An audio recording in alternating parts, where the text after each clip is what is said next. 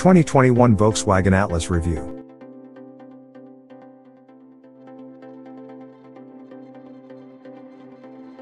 But before we start, please support us by pressing the like and subscribe buttons, so that we can continue to provide information about car and motorcycle news. Also turn on the bell button to get the latest updates. Your support means a lot to us. Thank you. The 2021 Volkswagen Atlas is the largest vehicle the company has ever sold in the US, a curious offering from a company that once extolled the virtues of buying the compact Beetle over a comparatively huge Chevy Biscayne. A few styling and interior updates for 2021 bring the Atlas more in line with its funky, Teutonic forebears, but it's still a distinctly American product, reflecting the changing values of VW and its buyers.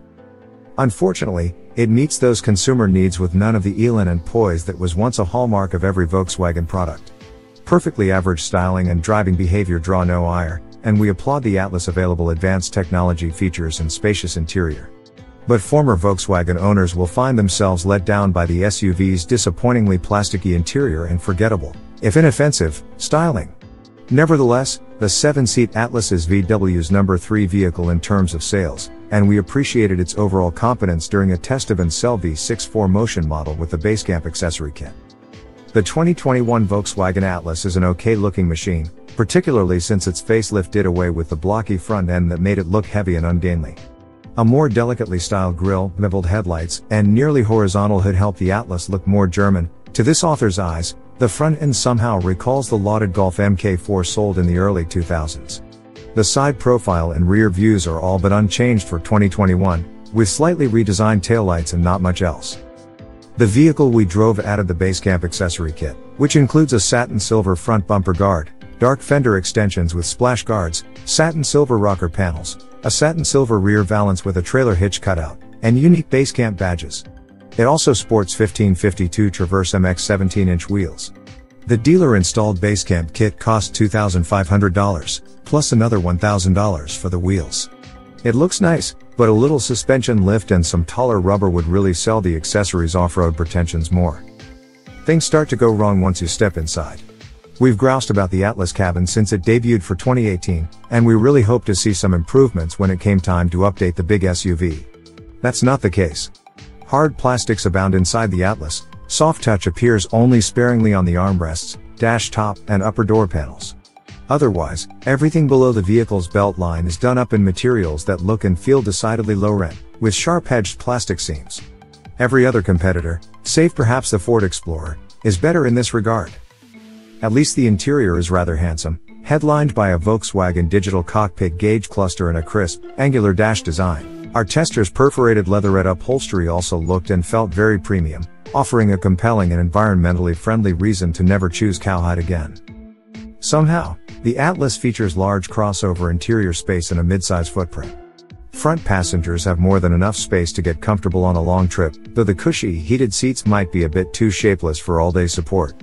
The second row seats slide fore and aft, and in their forwardmost position, there's enough space for kids and young teens. Adults will want to kick them back a few notches. The bench is flat as a pancake, but tall folks will appreciate a seat bottom that's long enough for some thigh support. The tilt and slide release affords third row access even with a child seat installed. Major kudos go to VW for raising the third row bench up off the cargo floor, the higher hip point improving comfort even for adult passengers. Owing to its decently spacious third row and sliding second row, the Atlas would be a good option for a family of five or six, with class competitive head and legroom in all three rows. Loading it down with seven passengers might be a bit tight owing to its slightly pinched shoulder room, but if you have to haul that many people, you're probably shopping for a minivan anyway.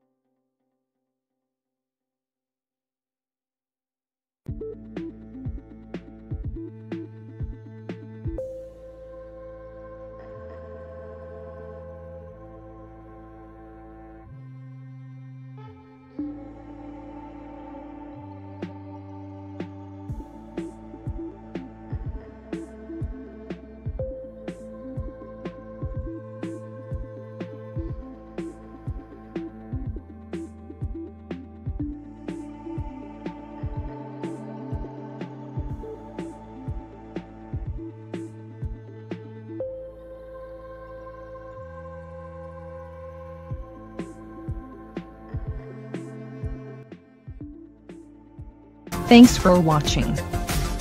Drop a like. Leave a comment. And don't forget to subscribe to watch more videos like this.